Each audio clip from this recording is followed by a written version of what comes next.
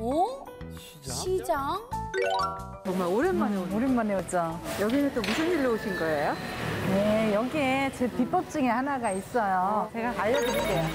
뭘까요? 생선 좀 봐. 와, 진짜 좋다. 어, 딸기도 있어요. 딸기도 되게 좋거든요. 그런데 더 좋은 게 있어요. 제가 찾는 비법 중에 하나가 이 사과예요. 사과. 제가 사과 고르는 방법 좀 알려드릴까요? 자, 이렇게 사과를 보면 전체적으로 붉은빛을 띠고 이런 점들이 많이 있을수록 햇볕을 많이 받았다는 거예요. 그리고 또 여기에 이 꼭지가 푸른색을 띨수록 싱싱한 거예요. 어, 이런 걸 골라야 당도도 높고 우리 혈관에 껍질째 먹을 거니까 이런 걸 반드시 골라야 돼요. 몰랐는데 나도 사과 좋아했는데도 몰랐어. 얘는 노란색을 띠면서 이렇게 깨끗한 색깔이 좋아요. 이렇게 뭐가 흠집이 있고 이러는 거는 별로 안 좋은 거예요. 어, 너무 저기 팁이 많다, 오늘. 자, 여기 놓고 아, 잠깐만 앉아 있어요. 잠깐 왜 놀라셨지? 뭐 하시려고 그러지? 아유, 걱정 말아요. 긴장할 거 아니에요.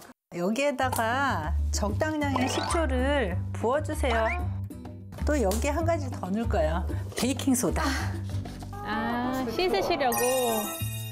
아. 역시 건강에는 과일 먹는 법도 남다르죠?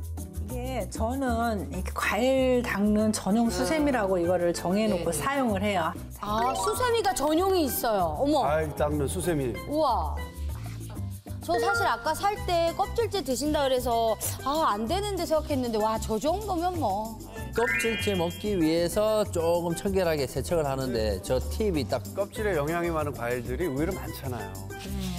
건강을 위한 거니까. 어? 이것 좀 보세요. 지금 우리가 찍다 보니까 불순물도 많이 빠져나왔죠? 아, 여기저기 불순물이 많이 있네요. 그죠? 이렇게 해서 먹으면 혈관 건강이 참 좋아지겠죠? 네. 아니 씻고 나니까 더 색깔이 좋아진 것 같은데? 맑은 물에 한 10분 정도 담가주시면 굉장히 개운하고 이거 맘 놓고 먹을 수가 있더라고요. 아, 사과는 정말 너무 깨끗이 닦아서 이대로 먹으면 될 것 같은데요. 배는 깎아 먹을 거 아닌가요? 누가 배를 깎아 먹어요?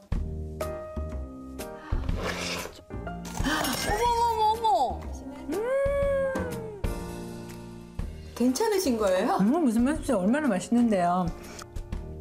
나 배껍질은 먹는 거 처음 봤어요. 저도요. 혈관에 도움이 되는 성분이 거의 껍질 속에 많이 있다고 그래요. 어차피 먹을 거니까 혈관에 도움을 주기 위해서 먹는 건데 껍질째 먹자.